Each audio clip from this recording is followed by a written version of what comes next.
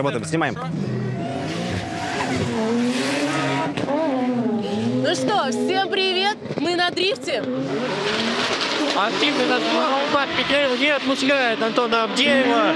Да. Первый заезд, топ, э, блин, за третье место просто сейчас. Одним из самых зрелищных автоспортивных соревнований до сих пор является дрифт. И сейчас мы находимся на финальном этапе чемпионата Казахстана по дрифту Горилла Дрифт Чемпионшип.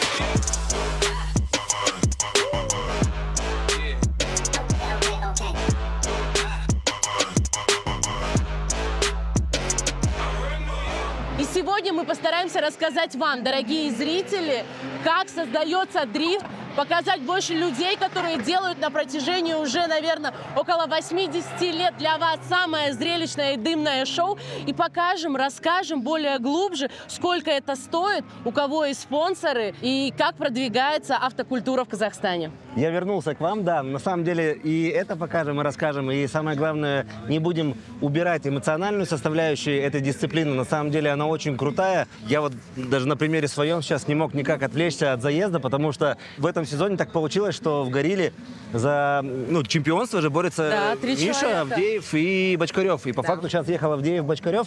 Мы знаем уже, кто в этом сезоне стал чемпионом. Да, Вот ну вы, наверное, тоже уже Уже да. догадываетесь, и потом обязательно узнаете в конце. Вот, поэтому Крис вам сегодня устроит Да. небольшую экскурсию по техпарку, по разговорам с пилотами. Я надеюсь тоже, что они будут э, очень, э, как... Эмоционально заряжены. Все правильно, да. Поэтому кайфуйте, смотрите. Вот, ну и что, погнали, посмотрим? Ну погнали, все, ю! И второй проезд. Максим Агеев лидер, Андрей Челушкин преследователь. Догонялок сейчас так, на таких расстояниях не будет. Все внимание на танцпол. Надо отдать должное Максиму Агееву. Несмотря на э, маломощную э, машину, он едет стабильно, без коррекций, э, старается ехать по заданию. Но сейчас мы видим, все-таки возникает... Ага, возникают все-таки проблемы не только у Максима, но и Андрея Челушкина. Сейчас судьи будут решать, кстати, чья была ошибка вот в контакте. И Максим Агеев проходит дальше. Ну что, перед нами Максим Агеев, человек, который доказал, что с маленьким бюджетом и не особо конкурентоспособной тачкой можно выйти в топ-чемпионат Казахстана по дрифту. Тебя не смущает то, что твой автомобиль не такой конкурентоспособный, как э, вот многие другие тачки? Меня это не смущает. Ну, блин, как меня это не смущает? Я не могу ехать нормально, это меня расстраивает. Я не могу навязывать борьбу, не могу конкурировать. Я понимаю, что шан- выезжая в заезд со многими с 90% соперниками, единственный шанс мой выиграть, что они ошибутся, либо там дождь пойдет. или А как ты думаешь, из-за чего? Все упирается в финансы? Ну, не только финансы, ну, финансы в том числе. Ну, допустим, у тебя есть деньги, там, история с вашей командой, но вы же не, у вас машины не появились вот так по щелчку пальца. То есть на это нужно время, чтобы их собрали. Чтобы их собрали, нужны запчасти. Чтобы были запчасти, они должны успеть приехать. Ну, в общем, это сложный процесс. Сегодня давайте за кого болеем все? Ты, понятно, за Любмана топишь. Не, я болею за Бочкарева. Не, ну... Я а- Любмана Споттера болею за Бочкарева. Будем крутиться.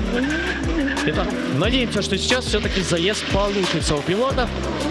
Хороший разгон, э, постановка, широкая траектория. Максим почему-то немножечко выпал. Не складывается заезд парный, к сожалению. Нормально. Все, отлично, исправил постановку, молодец, все отлично, молодец, исправил. С чем это связано? Возможно, подбор резины, возможно, давление в шинах.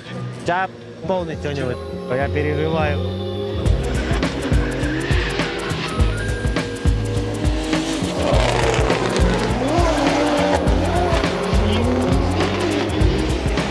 Колесо за трассой у Максима. Пропускает очередной 8. Илья Любман делает перекладку чуть-чуть на опережение, чтобы оказаться рядом. И почему-то... Что произошло? Что случилось, Илюха? как будто бы спрямился Илья Любман до финиша. Вам так не показалось, друзья? Ну, рассказывай, Илюх, как для тебя сложился этот сезон? Сезон сложился хорошо. Первый сезон, когда мы не ломались, а мы ехали. А, Четыре этапа из пяти проехали. На одном а, я не смог присутствовать. А, По итогам сезона одно первое место в квалификации, одно второе, одно третье. Ну, с четырех этапов. Ну и что, ну, нормально. Вот под конец не сдюжила тачка. В заезде с Максимом Трубчанином в топ-16. А Второй проезд уже ехал вторым номером и не доехал буквально вот 15 метров. И у меня масса почему-то вырубилась, и все. И машина просто выключилась. Обидно. А, Ну, обидно, конечно. Ну, ладно, зато, зато теперь понимаем, что нужно чуть-чуть подделать ее. И еще один претендент на чемпионство и Антон Шарымов. Антон Шарымов на Subaru Forester. Михаил Паки э, разгоняется на своей Nissan 350Z. Коротенький флип и устремление. Мы разница в темпе. А, Антон Шарымов с меньшим углом пытается догнать Михаила, но это у него не очень получается. Есть, есть вылет за трассу, как минимум один колесо. А, Далее в зоне ТГ-7, ТГ-8 Михаила все в порядке. И Антон Шарымов использует новую зону, чтобы все-таки приблизиться к своему сопернику. И только под финиш как-то более-менее подъезжает близко. Ну, такие дела, друзья. В этом сезоне Антон Шарымов а, зашел с ноги, можно, если так говорить. Ну, давай, Гума. Рассказывай, что для тебя дрифт? Ты вот выезжаешь на протяжении уже 12 лет. а, просто fun, ты кайфуешь от того, что ты делаешь, или же наоборот, ты стремишься добиться каких-то высот и именно выходишь на соревнования за борьбой? Ну, за 12 лет всякое было, я тебе так скажу. То есть э, поначалу это, э, как сказать, ну, стремление научиться, научиться ездить, показывать, как бы, ну, прикольные заезды. Потом кайф, потом, когда понятно стало, что можно идти за результатом, я пошел за результатом, и как бы все получалось и получилось в итоге. Сейчас, ты знаешь, э, в полной мере вернуть те ощущения, которые были изначально, я пока не могу, но я надеюсь, что в следующем году у меня получится. Конечно, приезжаем за ощущением в первую очередь. А результат уже он как бы складывается из э, всего остального. Хорошо э, получать э, высокий результат, но я тебе скажу так, что когда ты выиграл, но смотришь свои заезды и тебе не нравится и не кайфуешь, это ну это все портит. Поэтому надо в первую очередь кайфовать, Ну, для меня, наверное, все же это автоспорт в первую очередь. Я уже в свое время поразвлекался. Зачем? Ну, уже много лет занимаюсь, на самом деле, автомобилями и гонками, и дрифтом в том числе. И я приехал как бы расти профессионально, выигрывать, пытаться бороться за победу. Вот моя задача. Первое-наперво это борьба с самим собой, выстраивание порядка в голове. Чтобы мог ехать нормально, нужно, чтобы ты был сконцентрирован, в равновесии в полном. И вот, вот это чувство, когда ты добиваешься гармонии и баланса, вот, ну, наверное, ради него и еду. Ну, а, естественно, тут э, все едут на победу, все едут на результат. Ну, не все, не все едут на победу. Большая часть едет for fun. Они Кто- едут, Кто-то из этой части тоже нравится. лукавит. Да, наверное. наверное. Второй хит этого проезда Александр Бочкарев сразу на расходе Герман Сарянов флипует раньше своего э, соперника и всю дугу начинает рисовать э, буквально в заднюю дверь э, Марка. В зоне торможения немножечко, немножечко Саша отпускает. Все правильно. Он на, на Илью Богданова, извиняюсь. На Илья. Есть! Есть! Все, и все отработал. Ой-ой-ой, что там, что за... финишем допускает ошибку, заугливается и обнуляет, обнуляет заезд, к сожалению. Скажи, у тебя есть сейчас какая-то поддержка со стороны спонсоров или вы едете большую часть за свой бюджет? Мы едем за свой бюджет, я бы сказал, полностью, но нас поддерживает DAF Казахстан, э, чему мы очень благодарны, предоставляя смазочные материалы, которыми мы пользуемся, палатки. А, Я ездил же без спонсорской под- поддержки, но это, конечно, не тот дрифт. Конечно, не тот, э, потому что ты в постоянной экономии находишься. Опять же, те же самые тренировки уже, можно сказать, э, по минимуму. Но это было бы сложнее, но это зависит, опять же, а, того, насколько ты располагаешь финансами, да, например, кто-то э, бизнесмен, ему не нужна спонсорская поддержка, он может сам как бы потянуть и проехать, вот. Кто-то, допустим, простой там студент или, ну, просто на обычной работе работает и как бы семейный бюджет, если даже и расходовать, то это будет по минимуму. Ну, то есть э, дрифт, он такой. Ну, я сезон тоже, не, ну, как бы не сам проехал. Поддержка была от ребят. Вот, ну, Казахстану, конечно, не хватает спонсорской поддержки. Я думаю, многие пораскрывались бы. А у многих, кто может показывать лучшие результаты, ну, элементарно упирается в техническую подготовку автомобилей, ну и все сопровождение, потому что стоит, конечно, там, ну, недешево вся эта история. Всего несколько человек, точнее, несколько команд в чемпионате едут под спонсорами. И, кстати, не всегда, если на тачке наклеены какие-то наклейки, это означает, что у тебя есть генеральный спонсор, который помогает тебе финансово. В некоторых случаях ребята просто работают, соглашаются за какой-то минимальный пакет. Все остальное они, опять же, доплачивают со своего личного кармана. Пошлите спросим, пойдемте.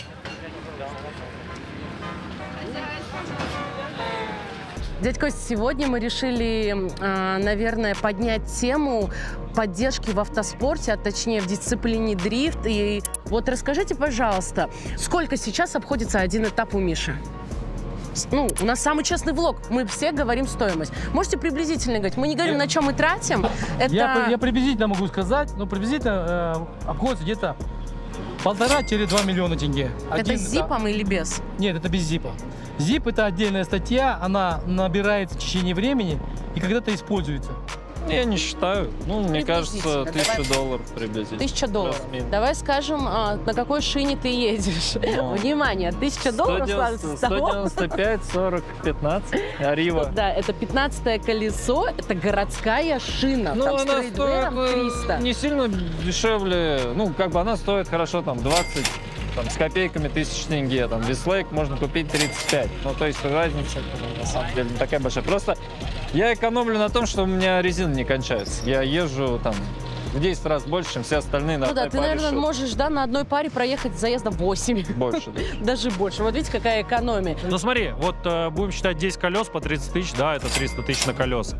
Плюс участие 40, тренировка 12, это еще 52 тысячи, да? То есть 350, вот, плюс бензин туда-сюда, ну где-то минимум, я думаю, 1400 это должно как бы Это с выходить. тем учетом, что ты всего тратишь 10 Это с тем учетом, что ты всего 10 колес тратишь, да.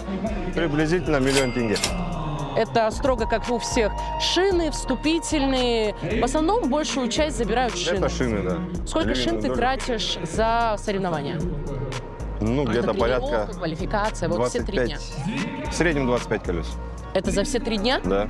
А что так мало? Ты не катаешься? Экономим. Ты не катаешься. Катаюсь.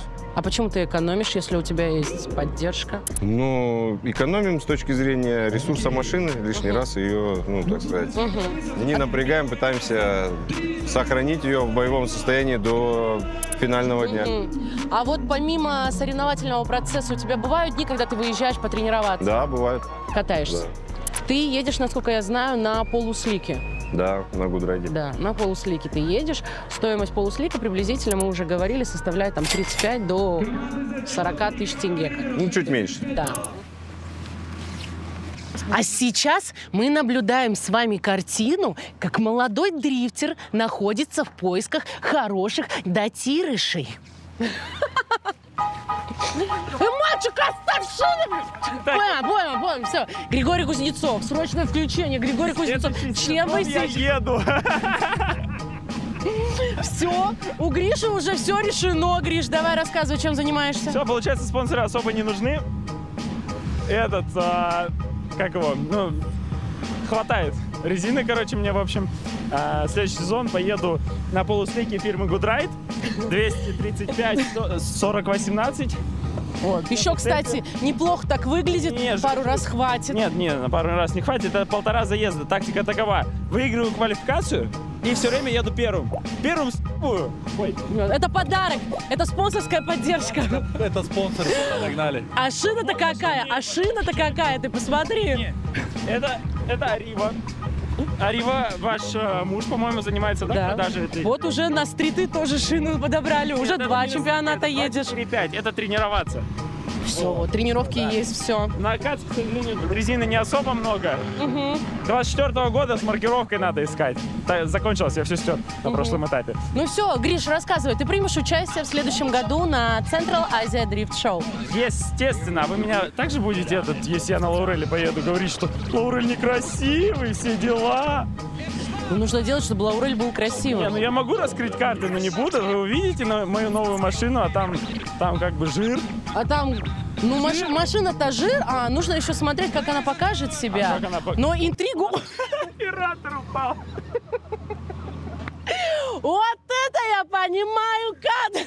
Леш, дай помогу, давай. Короче, Давай. затравка. Интрига, У меня интрига, будет затравка. 900 сил, это будет самая мощная машина Казахстана в дрифте. Она не мощная, у АСП уже там 1100. А, есть что ли? Ну, Ну конечно. ладно, АСП вне конкуренции, но Казахстана, говорю, а не АСП. АСП, да, это другая вселенная. Там. Проедь вот так, проедь, давай. Давай постановочный. Типа он идет и ты... Любимая стойка. И там у нас будет такая легкая дружеская Трюк, трюк, давай трюк, трюк. Давай, погнали. Поэтому увидимся с вами там еще. Сегодня мы не... Ну, в дрифте успехи не очень, зато хоть в скейтбординге. Давайте для примера сейчас нашей аудитории скажем, сколько стоит один этап, например, чемпионата РДС Европы, так как Миша принимал участие в прошлом сезоне, и мы приблизительно знаем уже стоимость участия. Ну да, то есть там в районе 5 миллионов тенге. Это Один этап, один, один этап внимание, РДС один Европы. этап РДС Европы. Это включает туда переезды, там, ну, всевозможные э, затраты, которые Проживание, необходимы, проживание да. и так далее, да. Сама тренировка, те же Да, самые да, да, шины, да. и если что-то сломалось, что-то купить. да. Ну что, перед нами Максим Ахтямов, это приглашенный судья финального этапа Горилла Дрифт Чемпионшип.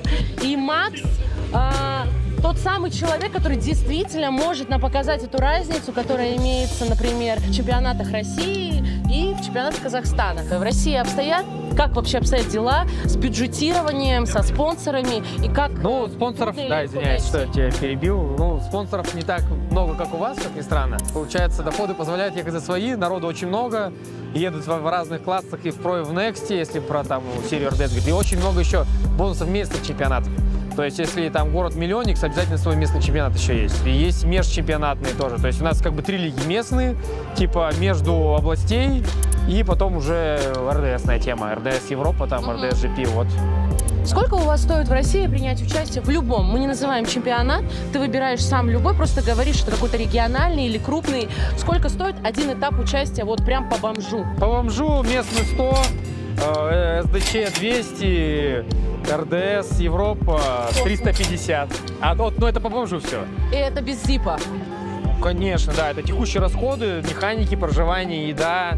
Стартовые очень немаленькие в РДС подняли до больших. То есть стартовые в РДС такие же, только не в тенге. 50 тысяч рублей, 250 тысяч тенге стартовые получается. Тренировки стоят под 45 тысяч тенге за полдня. То есть, если два дня тренируешь, и вообще 200 тысяч тенге улетело.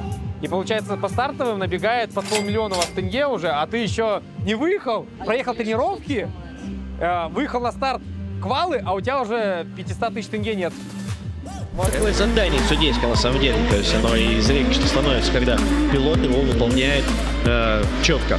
Ну что, Богданов лидер, Артур преследователь. Остановка. Средний угол, как по заданию, опять же. И по ОЗ-1 собирает зону Антон Авдеев рядом. Хорош, хорош! Хорош, Сейчас сразу же после зоны торможения перекладка Авдеев держится на расстоянии. Вот Здесь он Чуть добивался. Давай, там уже Тёма стоит. прибирает угол, чтобы догнать Антона Богданова. И на финишную дугу Хорош, хорош, хорош. Не-не-не, победа, победа Авдея. Ты чё? Первый проехал, идеально. Победа Авдея. Не-не-не, сто процентов. Этот один клип не А как ты думаешь, что нам нужно не только вот в чемпионате, а вообще вот нашим пилотам для того, чтобы они переросли. Вот свое катаюсь по фану в то, что нужно устраивать Должны зарубу. деньги прийти. Деньги прийти в этот вид спорта. Это, чтобы пришли деньги, это должны прийти люди, у которых есть деньги. Вот и все очень просто. Ну, не то, что пилоты не хотят там развиваться, не хотят там строить крутые машины, не знают, как это делать. Ну, нет у людей на это возможности. Нет возможности поставить крутые запчасти, нет возможности купить больше резины. Нужно, чтобы приходили те, у кого есть такие возможности. А тех ребят, у которых нет, ну, подтягивали как раз э, более обеспеченные, брали к себе в команды, там, чтобы они их учили. В общем, ну, как бы можно взглянуть в Россию, там, Европу, Америку, как это устроено, ну, вот оно так устроено. Должны вы приходить бюджеты в этот вид спорта. Вот, спонсоры, реклама. Чтобы приходили люди с бюджетами, чемпионат должен больше заниматься медийкой и всем остальным. Ну, я думаю, это медиа все, потому что, насколько я знаю, что по опросам разных э, Зарубин, Цареградцев и Чевчан делали больше, чем все вместе взятые. Надо находить поддержку пилотам. Те ребята, которые в стрите катаются, мы, конечно, их ждем в про, чтобы они переходили. Потому что сейчас ты видишь, э, старички все тянут э, про-класс. То есть мы ездим, да, мы как бы и сами получаем удовольствие, и ну, заманиваем э, молодых ребят, вот. И те, кто молодые пришли, такие как Миша, например, и другие ребята, показывая хороший результат, они дают пример для тех, кто потенциально хочет прийти в про-класс, что это можно сделать. Можно прийти со стрита, можно прийти новичком и через год, через два при должном, как бы, при должных тренировках показывать результат. Вот, Я думаю, если спонсоры бы там более активное участие принимали, ну, чемпионат был бы еще красочнее. Хотя, тем не менее, там, относительно того, что было три года назад и что сейчас, конечно, разница очень большая. Подтянулись, э, ну, как бы, ребята там с других регионов, да, близлежащих. И это все только позитивно сказывается на этапе. Все растут уже, все видят там какие-то траектории, вектора, там, куда стремиться. Поэтому это очень важный момент поддержка автоспорта. То есть, как говорится, люди, если вы можете поддерживать, поддерживать автоспорт. Если вам нравится шумные, дымные проезды, если вам нравится этот вид спорта, то, пожалуйста, помогайте, помогайте, чем вы можете. Вот. Могу сказать теперь, что, ну, очень важно от компаний, которые могут себе позволить. Я тоже бизнесмен, я тоже прекрасно понимаю это. Я думаю, что если вы потратите какое-то количество денег на автоспорт, на этих пилотов, которые к вам обращаются, что вы станете менее богатые, скажем так. Наоборот, скорее всего, вы станете более духовно, более богатые. Поэтому я бы сказал бы так, помогайте всем пилотам, кто выезжает дисциплину дрифт. Вот ты у нас был уже не в первый раз. Да, это уже четвертый Есть ли какие-то отличия от твоего первого приезда в Казахстан? Мы растем или же наоборот мы как-то уже подуспокоились, на лайте, все такие, ай, да проехал, да проехал. Я бы сказал, да, что супер прогресса нет, но есть какое-то развитие, то есть общение с пилотами, как они воспринимают информацию, как они могут подправить свою езду, наверное, есть. Трасса сегодня просто была тоже не сложная, необычная очень. Они не привыкли уменьшать угол, разгоняться, а потом сильно тормозить. Но в целом, как бы, обратную связь вижу, что он слушает, пытается делать, то есть мне кажется, что первые разы, ну, может быть, это как новичок, больше в штыки воспринимали. Там возмущались, что-то там посоветовали, сейчас уже как-то, да, по- попроще. Какой совет новичкам ты бы мог дать, которые захотят ворваться в большой автоспорт, но они видят вот эти все затраты, вот эти тачки, Да и они боятся? трезво, да не, надо трезво оценивать свои силы. Ну, если ты хочешь сразу приезжать и побеждать, ну, нужны на это большие деньги. Просто можно. Если я пилот, там вообще звезда, я все умею, и я приеду всех порву, ну нет.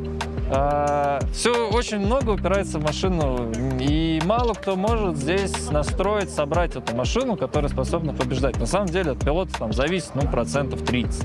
Вот, реально 30. Если у тебя есть нормальная команда, хорошая тачка, в принципе, ты там посади начинающего, он там здесь чемпионат может выиграть. Начинающий, если с ним будут грамотно работать, хорошая команда. Я вот так считаю.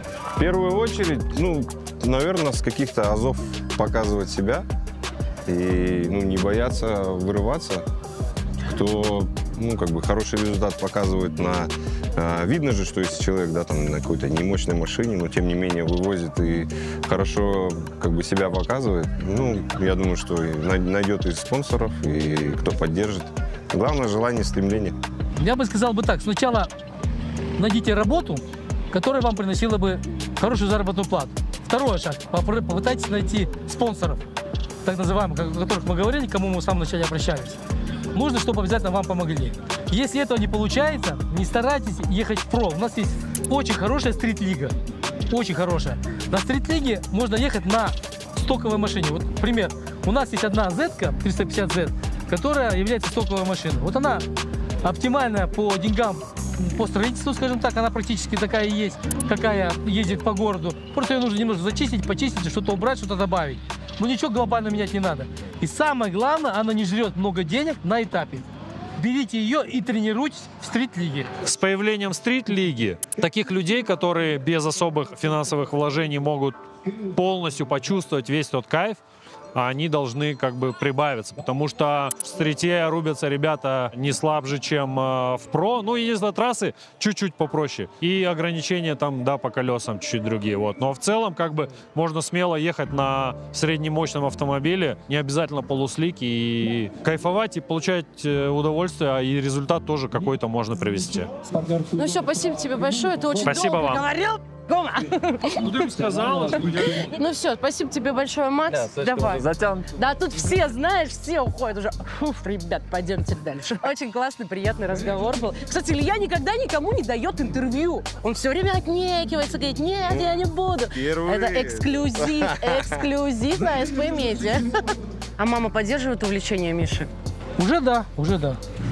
Кстати, кто не знает, семья вообще Миши Пака, она привозит на мероприятие вкусные корейские салатики. Вот она так сказала на РДС Европы. А, салатики! Это наше любимое выражение теперь.